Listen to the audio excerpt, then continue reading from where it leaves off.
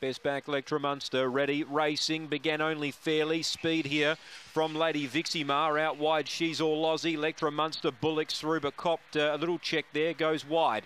Meanwhile, Azumi Swift had the lead, two in front of Dan Shen, Electra Munster gets to third, spots the leader, four, back in fourth placing Fire Eyes, then she's all Aussie, Money Monster last is Lady Viximar, leader does it well, Azumi Swift, three in front, Electra Munster works to second, running on Fire Eyes, but Azumi Swift is home for the money. Second goes to Electra Munster. Third Fire Eyes. Fourth Dan Shen. A gap to She's All Aussie from Money Monster. And last to complete the course, Lady Viximar.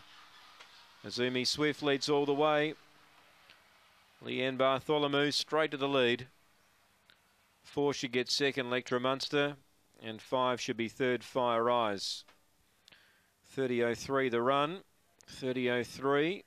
Three the winner, Azumi Swift. Four second, Electra Munster. And five gets third, Fire Eyes. Three, four, and five. 30.03 the run. 12.95 on the way home.